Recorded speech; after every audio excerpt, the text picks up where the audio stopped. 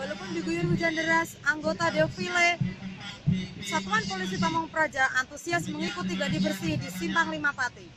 Upacara besok dilaksanakan pada Rabu jam 7 pagi. Berikut liputan tim ISK TV.